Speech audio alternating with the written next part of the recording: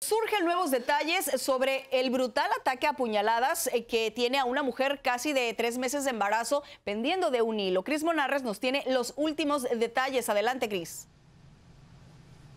¿Qué tal? Muy buenas tardes. El esposo de la víctima nos explica cómo tres sujetos fueron capaces de apuñalarla en más de 10 ocasiones sin importarles que estaba embarazada y todavía se dieron el lujo de robar el vehículo y destrozar a varios automóviles como este.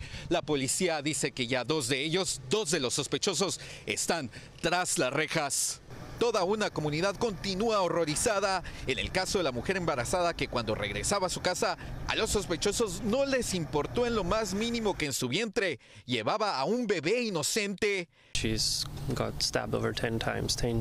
La apuñalaron en más de 10 ocasiones, una de esas le perforó el pulmón, uh, perdió sus dientes y no le pueden dar medicamentos porque está embarazada, dijo el esposo de la víctima y padre de la criatura. Sus dos amores, dice, están en condición crítica.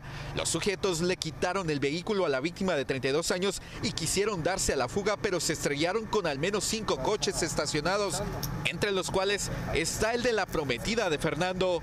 No, pues ya, como dicen, eh, pérdida total.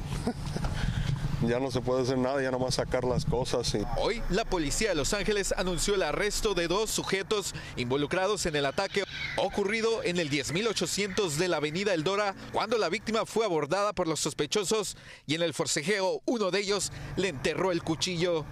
Son pandilleros, no es una pandilla local, son de otra parte de la ciudad. De acuerdo al detective, los sospechosos enfrentan cargos de intento de asesinato y robo.